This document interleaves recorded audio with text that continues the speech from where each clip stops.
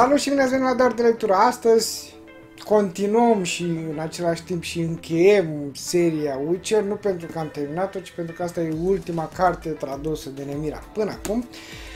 Vom vedea ce se întâmplă mai departe. Datorită comentariilor voastre am aflat că mai e încă o carte din serie, cartea 7 uh, și încă unul pre-sequel, ceva în genul ăsta. Deci sper că Remira cât mai curând se apuce de tradus, să ne dea și ultima carte din serie măcar și după aceea vedem ce se întâmplă mai departe. Haideți să vorbim de ce astăzi discutăm despre cartea lui Andrei Sapovski, Turnul Rândunicii. Cartea a șasea din serie și până la momentul ăsta ultima tradusă, după cum bine v-am spus și mai, îndevă, mai adineauri, cartea este de la editura Nemira, are undeva la 456 de pagini și este în traducerea lui Mihaela Ficuștean. Mihaela Ficuștean, care s-a ocupat, se pare, de întreaga serie până în momentul ăsta. Să sperăm că continuă și mai departe.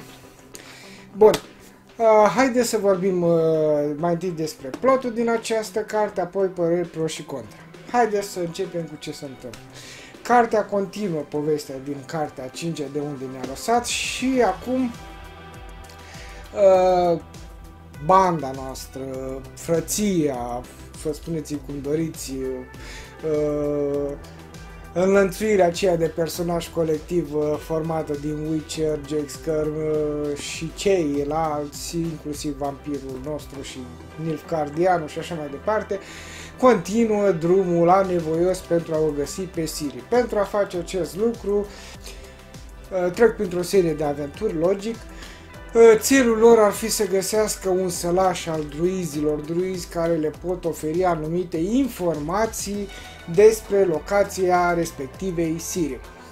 Uh, de asemenea, uh, aflăm și despre Siri care cumva uh, se află într-o situație mult mai serioasă, mai gravă decât cea în care s-a aflat până acum când mergea cu banda șobolanilor și cumva se bucura de o anumită libertate, pot spune, Uh, nemai fiind supus niciun fel, uh, sub niciun fel de constrângere de a deveni vrăjitoare, de a deveni magiciană, de a deveni uh, prințesă, etc., etc. Era pur și simplu cine credea ea că e ok și intrase în pielea uh, respectivei Falca, așa spunea, uh, o persoană complet liberă și lipsită de orice fel de opreliști.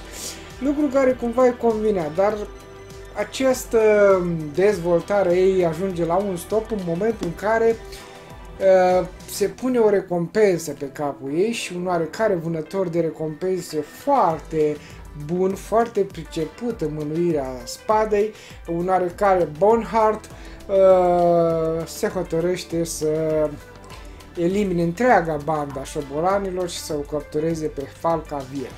Am uh, să încetesc cu acest uh, fir narrativ, deoarece e destul de interesant și cred că e firul cel mai interesant din întreaga carte. Apare din nou, iarăși, cumva într-un uh, plan secund și Yennefer, magiciana noastră, care, al cărei fir narrativ ia o întorsătură ciudată, sincer, nu mă așteptam cumva, la fel ca și Geralt se zbate, ca să zic așa, pentru a influența povestea noastră, dar ca și Geralt, toate zbatele pe care le face sunt lipsite de o finalitate, sunt uh, cumva îndreptate în locul greșit. Uh, și acțiunea evoluează, cum spun eu, cumva neturburată de eforturile celor doi. Destul de interesant mi s-a părut asta și cumva m-a dus cu gândul la o oarecare filozofie pe care transpiră așa, autorul reușește să o facă, să ne transpire din firul povestirii și anume că indiferent ce încerci să faci destinul își spune cuvântul, iar tu cumva, chiar dacă lupți pentru a-i modifica cursul, nu poți face mai mult decât, eu știu, face un bolovan pentru a modifica cursul unui râu, bineînțeles, nu o stâncă, dar un bolovan. Bun. Acțiune există, dar acum vreau să intru un pic în tărâmul, deci nu oprim cu sinopsisul, în tărâmul lucrurilor bune și rele. Partea bună că avem iarăși personaje care evoluează și urmează curs, curba ascendentă, descendentă, în care uh, devin și uh, încearcă să devină cineva. Deci nu avem niște personaje statice, nu avem niște personaje șablonate. Nu, acestea evoluează și învață din ceea ce trec și prin ceea ce trec, lucru foarte bun pentru că așa trebuie să fie un personaj bine construit. Cumva grupuri, cele trei fire narrative majore, toate că mai apare pe final și un al patrulea fir narrativ, care vine ca să ne deslușească anumite lucruri, să înțelegem mai bine anumite lucruri care s-au întâmplat până acum și e un film narrativ bine gândit, pentru că lămurește și ridică ceața după niște întrebări pe care nu le-am pus. Deci cele trei fire narrative majore uh, sunt destul de interesante și te prind. Uh, vrei să afli ce se întâmplă mai departe cu personajul. Dar la cartea asta, pentru că la celelalte nu prea am avut lucruri negative de spus, la aceasta șasea carte din serie am și ceva negativ, ca să spun așa. Uh, în primul rând uh, se evită un personaj principal, se evită un fir pe care să-l urmăm și anume, în primul rând nu avem un narator, știți, un narator acela omniscient care apare de altfel în cărți, este naratorul care știe tot. E un fel de Dumnezeu al cărții respectiv. El vede ce se întâmplă, știe ce se întâmplă, spre exemplu, uh, nu știu, hai dau un exemplu. Witcher mergea pe strada întunecoasă îndreptându-se fără să știe către cei patru asasini plătiți așa de către contele de, nu știu, uh, inimă albastră, ce doreau să îl ucidă. Ăsta e un narator omniscient, acum o fac o mică lecție, dar sorry.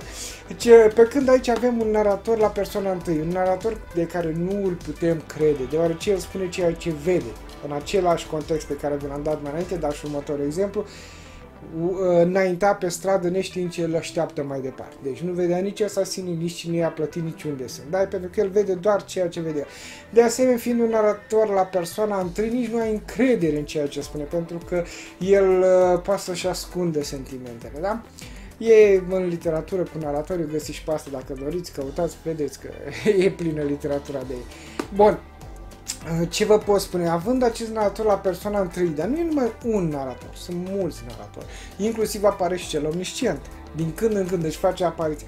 Cumva cartea mi s-a părut un pic hai zic un cuvânt puternic de ăsta, îmi vine minte un pic dezlânată, neavând un singur narator, vedem perspectiva, iar la un moment dat perspectivele se schimbă de la paragraf la paragraf. Spre exemplu, avem naratorul care spune ce știe el, după care aceeași poveste, ceea ce tocmai ne-a relatat, se continuă din prisma altui personaj. Spre exemplu, narator omniscient sau narator la persoana întâi, dar alt personaj. Și avem relatări ale unui conflict, ale unui, uh, nu știu, întâmplări văzute din ochi diferit. Cumva e o carte mai experiment, ca să zic așa. Din păcate, lucrul ăsta te bulversează pe alocuri, uh, pe mine unul m-a cam enervat pe aici pe acolo, uh, aș fi preferat o narațiune liter, uh, liniară, scuze, nu literară, literară e liniară, în care să văd mai clar cum se întâmplă. Într-adevăr, lucrurile astea vin și clarifică anumite lucruri, dar aș fi preferat să fie separate chestiile astea, nu doar printr-un simplu paragraf, fiind astfel Uh, cititorul e bulversat de imagini care se contrazic la un moment dat una pe alta. Dacă nu ești atent că s-a schimbat paragraful deodată, nu mai înțelegi nimic pentru că relatarea se schimbă de la Siri, spre exemplu, la Bonhart, cel care o vânează.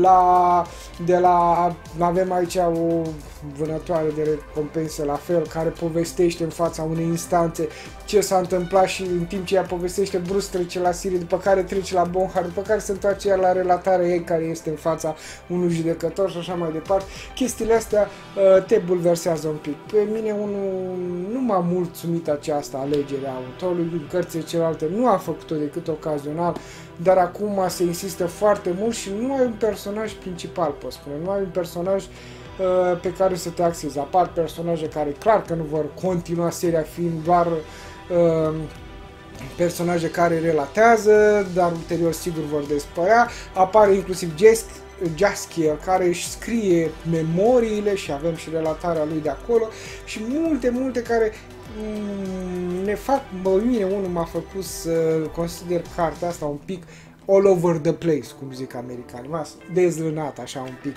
cuvânt mai puternic, dar, mă rog, cartea nu e proastă, în schimb, are multă acțiune, te ține și, din păcate, te lasă în uh, coadă de pește pentru că nu se termină. De aceea era bine dacă Nemira traducea mai repede și următoarea parte ca să vedem cum se termină povestea. Aștept acest lucru. Până una altă carte am să-i dau un 9 din 10, v-am spus și din ce motiv și 9 la e un pic așa cu gândul la celelalte. Sincer, cred că aș fi dat un 9. Dar mergem pe 9 pentru că asta e, mi-a plăcut seria până acum și nu vreau să-i stric uh, prea mult uh, media. Bun, asta fiind zisă până data viitoare, vă zic o zi bună, la revedere și nu uitați să rămâneți dornici de lectură.